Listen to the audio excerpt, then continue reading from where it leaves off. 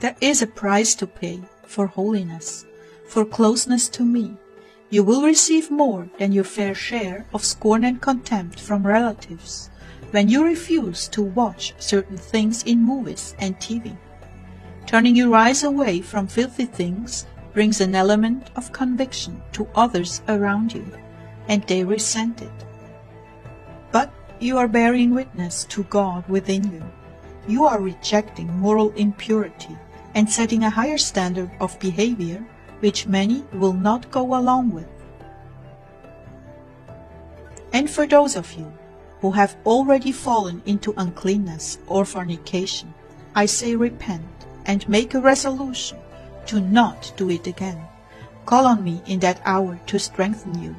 Those who willingly give their eyes over to that are far more guilty than those of you who are weak and refuse every opportunity to look, but still find yourselves overpowered.